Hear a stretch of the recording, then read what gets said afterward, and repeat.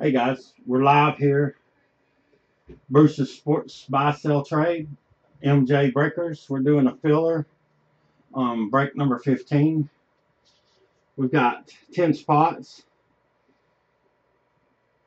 The top three after the randomization is going to draft between Arizona, New York Jets, and San Francisco 49ers. Spot number one will pick, spot number two will pick, and then spot number three will get whichever's left. We're going to go to random.org. I have the names there. We got Francis, Ron, Taylor, Taylor, Francis, Sheila, Ron, Bruce, Taylor, Francis. We're going to go to the dice. We're going to roll three dice.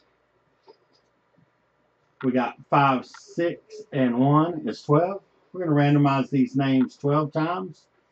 Whoever ends up on the first spot will get first pick. Second spot will get second pick. And third spot will get third pick from the three teams that I mentioned. Good luck. We're going to do this 12 times. Here we go. One, two, three, four, five, six, seven, eight, nine, ten, eleven. We've randomized 11 times. We're going to go back to the dice. 5, 6, and 1 is 12. We're going to randomize these names one more time. Whoever's on the first three spots, those three people will pick between the three teams. Good luck. Thank y'all for participating. Thank y'all for filling this break for me. I will have another break up soon. Good luck. And number 12.